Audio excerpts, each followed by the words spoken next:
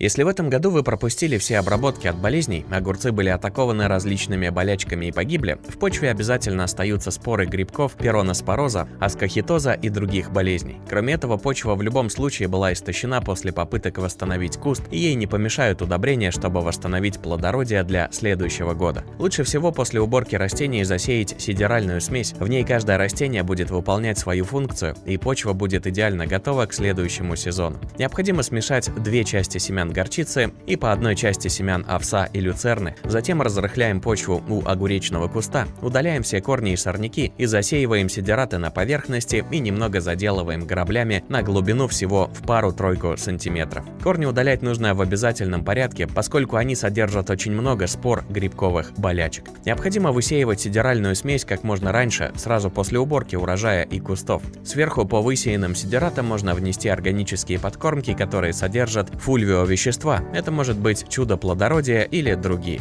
После высадки сидеральной смеси должно пройти около 40 дней, и их уже можно скашивать с поверхности, измельчать и запахивать прямо вместе с корнями в землю. Сверху можно разложить органику и мульчу, а можно обойтись и без них. Таким простейшим способом мы можем значительно улучшить плодородие почвы, сделать ее рыхлой и обогащенной кислородом, подавить развитие сорняков в будущем году, а также уменьшить количество болезней и устранить вредителей. И за это время земля земля отблагодарит вас фантастическим урожаем и защитит от болезней ваши посадки огурцов.